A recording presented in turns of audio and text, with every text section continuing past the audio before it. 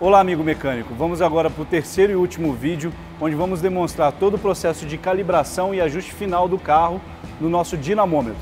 Nessa etapa, após a finalização da instalação do kit GNV de quinta geração, agora é feita a calibração do veículo, onde se divide em duas etapas. A calibração, na primeira etapa, é feita uma calibração base com o veículo estático. Depois, nós temos uma ferramenta que é o diferencial da oficina, é um dinamômetro, onde nos permite fazer uma calibração com melhores ajustes, obtendo assim o um melhor desempenho, autonomia e eficiência do kit GNV.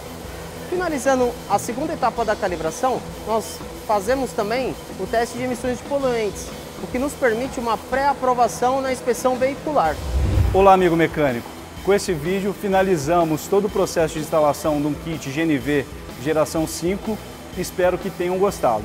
Se gostou, aperte no curtir e gostei, compartilhe e deixe seu comentário. Até uma próxima.